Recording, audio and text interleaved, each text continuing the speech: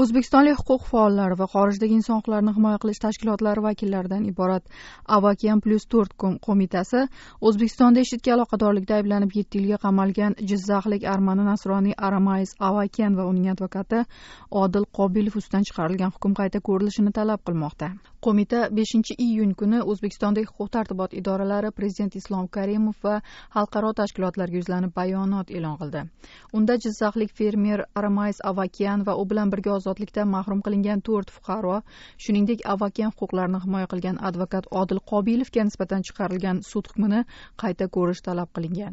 Shu yilning o'n to'qqizinchi martida jizzax viloyat jinoyat ishlar bo'yicha sudi o'zbekiston jinoyat kodeksining qo'poruvchilik o'g'rilik diniy ekstremistik tashkilotlar tuzish kabi moddalari bilan ayblangan armani nasroniyga yetti yil qolgan to'rt kishiga besh yildan o'n ikki yilgacha qamoq jazosini bergan. To'rtinchi mayda esa avakanning advokati o'ttiz uch yoshli olim qobilov poraxo'rlik va tovlamachilik aybi bilan yetti yilga ozodlikdan mahrum etilgani ma'lum bo'ldi. Inson huquqlari himoyachilari va xalqaro tashkilotlar advokatning qamoqqa tashlanishini uning kasbiy faoliyati bilan bog'lamoqda. Avakian plyus to'rt qo'mitasi bayonotida shuningdek joriy yilning yigirma oltinchi may kuni yevropada xavfsizlik va hamkorlik tashkiloti doimiy kengashi tomonidan qabul qilingan bir ming bir yuz birinchi sonli bayonot tilga olindi.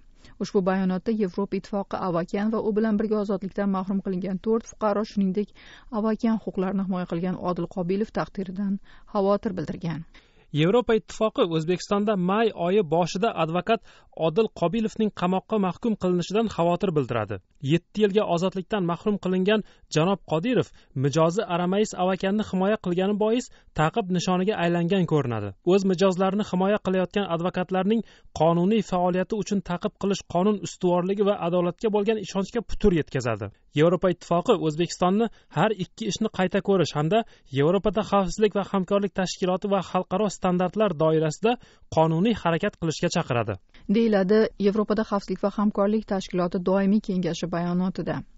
Avakian plyus to'rt qo'mitasi esa shu yilning fevral oyida tuzilgan. Uning tarkibida o'zbekiston mustaqil huquq tashabbus guruhi rahbari surat ikromov o'zbekiston inson huquqlari alyansi rahbari yelena urlayeva armanistondagi huquq va erkinliklar markazi raisi vardan arutyunyan armanistondagi jurnalistlar va inson huquqlari tashkiloti yetakchisi janna aleksanyan germaniyadagi inson huquqlari forumi yetakchisi umida niyozova va rossiyadagi memorial inson huquqlari markazi rahbari vitaliy ponomaryov qozog'istondagi inson huquqlari va qonun ustuvorligi bo'yicha xalqaro byuro yetakchisi ro'za aqlbekovalar bor.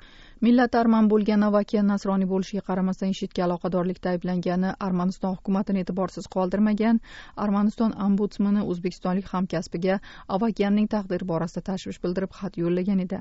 Ikki ming o'n beshinchi yilning sentyabrida esa jizzaxda hibsga olingan baliqchi fermer avakanni ozod qilish chaqirig'i bilan onlayn petitsiya tashkil etilgan. Avakanning xotini va onasi hamda avakan bilan birga sudlangan yana bir fuqaro furqat jo'rayevning yaqinlari aprel oyi oxirida aqshning toshkentdagi elchixonasida qabul qilingan. Fermerning yaqinlari va u bilan birga ayblanib o'n ikki yilga qamalgan furqat jo'rayevning onasi maxtuma jo'rayeva sudlanganlarni hibsga olish va ayblovni bo'yniga qo'yish uchun tergov izolyatorida qiynoqlar qo'llanganini ham iddao qilib keladilar.